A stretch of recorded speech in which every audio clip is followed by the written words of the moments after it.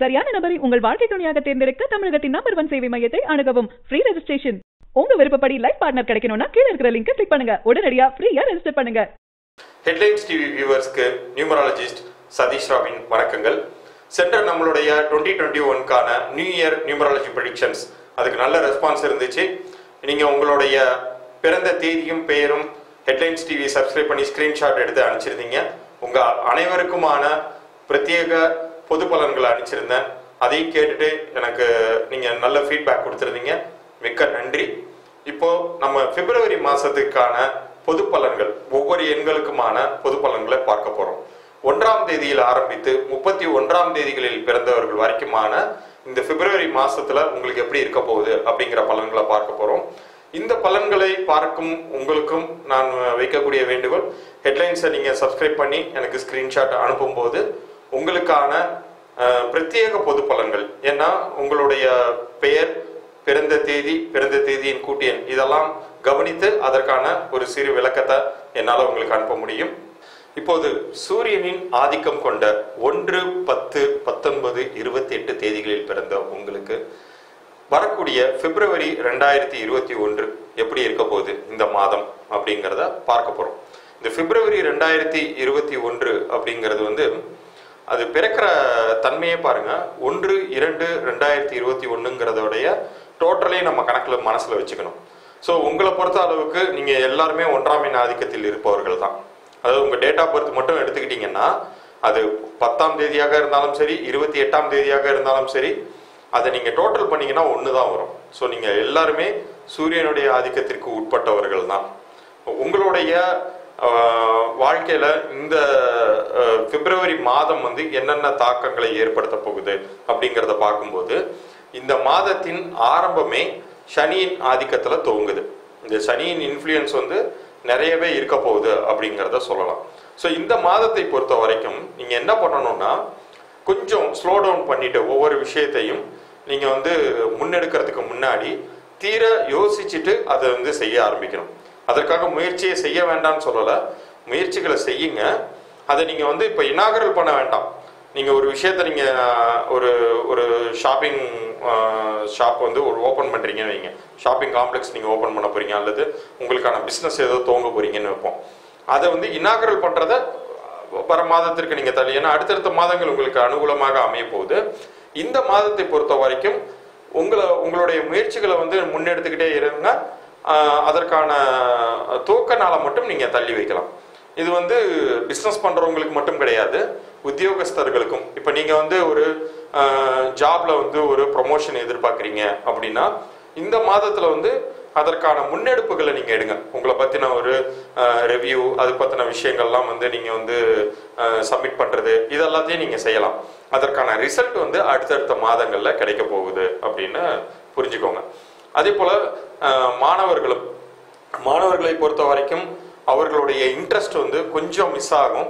But ஆனால் அதை வந்து அந்த அந்த இன்ட்ரெஸ்ட்டை வந்து நீங்கள் வந்து கேரி ஃபார்வர்ட் பண்ணணும்.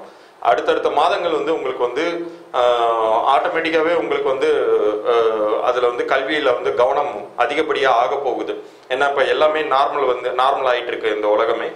அப்படி இருக்கும்போது நீங்கள் மறுபடியும் வந்து ஸ்கூலுக்கு போகிறது காலேஜுக்கு போகிறது இதெல்லாம் வந்து நடக்கும் பொழுது உங்களுடைய கவனம் வந்து இயற்கையாகவே அதிகமாக போகுது. ஆனால் இந்த மாதத்தை பொறுத்த வரைக்கும் அந்த ஸ்டார்டிங் டபுள்னு சொல்லுவோம் இல்லையா அது மாதிரி இருக்கும். ஆனால் அதை நீங்கள் உங்களுடைய கவனத்தை மட்டும் செதற விட்டுற வேண்டாம்.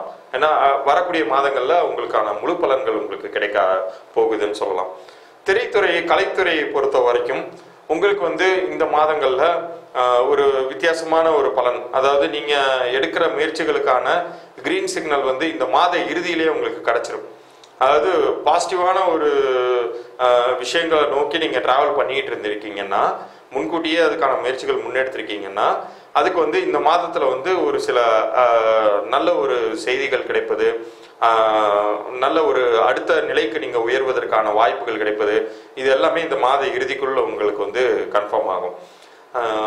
அரசியல் பொது வாழ்க்கையை சேர்ந்தவர்கள் அரசியல் அரசியல் வாழ்க்கையில் இருக்கிறவங்களுக்கு வந்து கொஞ்சம் உங்களுடைய முடிவுகளை வந்து தள்ளி போடுவது மிகவும் அவசியங்க. ஏன்னா இப்போ நீங்கள் எடுக்கக்கூடிய முடிவுகள் பாதகமாக கூட போயிடும். அதனால் கொஞ்சம் நிதானித்தே உங்களுடைய முடிவுகளை வைத்துக் கொள்ளுங்கள். அது உங்களுக்கு நிறைய நற்பலன்களை கொடுக்கக்கூடிய தன்மையில் இருக்க போகுது. பெண்களை பொறுத்த வரைக்கும் நீங்கள் வந்து எப்போதும் போல உங்களுடைய அன்றாட பணிகளை செய்துட்டு வாங்க. உங்களுக்கான நல்ல விஷயங்கள் வரக்கூடிய மாதங்களில் கண்டிப்பாக கிடைக்கும். அதற்கான உயர்வுகளும் உங்களுக்கு கிடைக்கும். குறிப்பாக இந்த மாதத்தை பொறுத்த வரைக்கும் ஒரு சில தேதிகள் உங்களுக்கு அனுகூலமான தன்மையில் அமைய போதுங்க அது என்னென்ன தேதிகள்னு சொல்கிறேன் அந்த தேதிகளில் உங்களுடைய ஒரு முக்கியமான ஒரு விஷயத்தை இப்போ நீங்கள் வந்து ஒரு ஒரு ப்ராப்பர்ட்டி வாங்குறீங்க.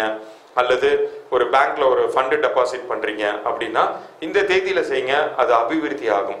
அது போன்ற ஒரு தேதி வந்து மூன்றாம் தேதி. உங்களுடைய முடிவுகளை வந்து கொஞ்சம் தள்ளி போட சொன்னேன் வழியா முயற்சிகளை வந்து முன்னெடுக்க சொன்னேன். அது போல புதிய முயற்சிகளை முன்னெடுப்பதற்கான ஒரு நல்ல பலன்களை கிடைப்பது கொடுப்பதற்கான தேதியாக இந்த மூன்றாம் தேதி இருக்க போகுதுங்க.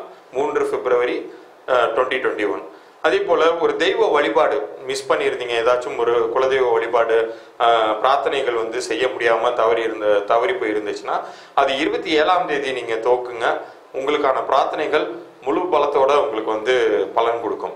ஸோ இந்த தேதிகள்லாம் வந்து அதற்கான முக்கிய தன்மைகளோட வேலை செய்கிறதுனால அதற்கான மிகச்சிறந்த அதிர்வலைகள் உங்கள் வாழ்க்கையில் ஏற்படுத்தி உங்களுக்கான அனுகூலங்களை பெற்றுத்தரும். இப்போ நான் சொல்லியிருக்கிற பலன்கள் எல்லாமே பார்த்தீங்கன்னா உங்களுடைய பிறந்த தேதியின் அடிப்படையில் மட்டும்தான் நான் சொல்லியிருக்கேன்.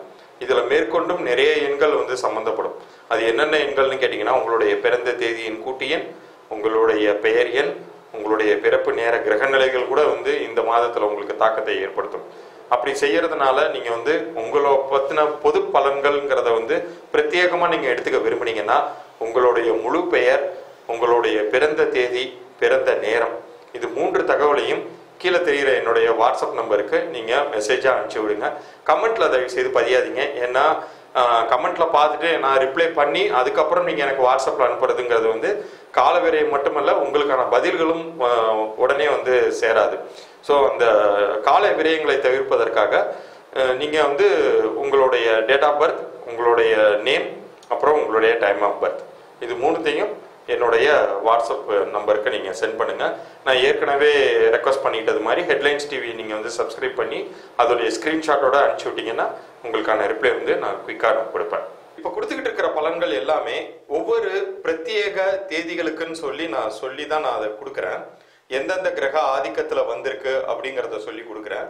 இதில் நீங்கள் கவனிக்க வேண்டிய ஒரு விஷயத்தையே நான் சொல்லிடுறேன் இப்போவே. ஒவ்வொருத்தருடைய பிறந்த தேதியிலையும் இரண்டு எண்கள் சம்பந்தப்பட்டிருக்கும். ஒன்று வந்து பிறந்த தேதியாகவும் மற்றொரு எண் வந்து பிறந்த தேதியின் கூட்டு எண்ணாகவும் சம்பந்தப்பட்டிருக்கும்.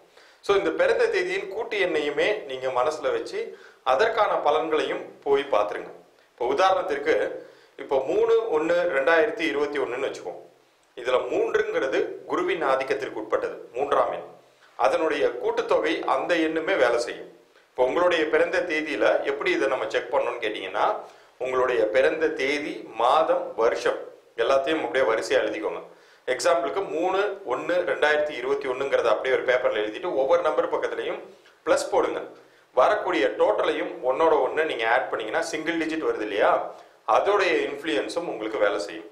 இப்போ இந்த மூணு ஒன்று ரெண்டாயிரத்தி இருபத்தொன்னுன்னு சொன்னதோடைய கூட்டுத்தொகை வந்து சூரியனுடைய ஆதிக்கத்தில் வருதுன்னு வச்சுக்குவோம். அந்த சூரியனுடைய ஆதிக்கத்திற்குட்பட்ட அந்த எண்ணிற்குமான பலன்களை நீங்கள் போய் பார்க்கணும். Three plus one plus two plus zero plus two plus one இப்படி நீங்கள் போட்டு பார்த்தீங்கன்னா த்ரீ ப்ளஸ் ஒன் ஃபோர் அதே மாதிரி two plus zero plus two plus ஒன்னுங்கிறது வந்து ஃபைவ் வரும். So four plus five nine செவ்வாயின் ஆதிக்கம். நைன்கிற இந்த நம்பருக்கும் நீங்கள் போய் பார்க்கணும். இதுதான் கான்செப்ட் ஏன்னா உங் ஒவ்வொருத்தருடைய பிறந்த தேதியில் இந்த இரண்டு எண்கள் சம்மந்தப்பட்டிருக்கிறதுனால இந்த இரண்டு எண்களுக்குமான பலன்களும் கலவையாக சேர்ந்து நடக்கும் அப்படிங்கிறதுனால தான் இந்த இரண்டு எண்களுக்குமான தன்மைகளும் பார்த்துக்க சொல்கிறேன்